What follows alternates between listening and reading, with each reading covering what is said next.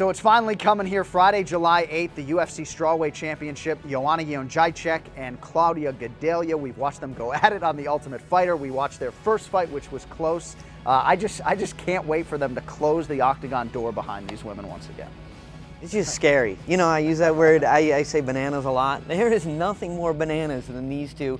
You can't even keep them in the same arena together. That's, I mean, you have to have somebody between them constantly. This is real deal the, I've never seen two people hate each other more than these two women. Same all the time. You keep on just talking and talking and talking. You're the one. You always talk.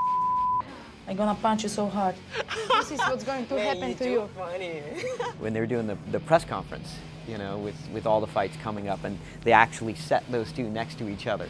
And, and uh, you know, early in the day, nobody realized, but they got into an actual fist fight on the set. There were no cameras rolling. There was no anything. It was just these these two going at it. And they had to have people separate them. Yeah. Then they bring them to the press conference, and that's why they had the security guard. People like it was kind of weird seeing right. a security guard standing behind Dana yeah. because they were afraid that they were going to get into another fist fight. We might have another fight at the weigh-in. It's insane. It really is. There's nothing fabricated about this dislike, Joe, but I think the bigger point when you talk about Friday, July 8th, these are the unquestioned two best strawweights in the world, and they're going to put on a showcase fight fan, for fans, I believe. Well, these are just two amazing athletes, and it's that classic striker versus grappler matchup. They are both so good at what they do. And they're both well rounded, but they both have their specialty. And I, I think we're going to see them at their best because th there is nothing either one of these two would hate more than to lose to that other one.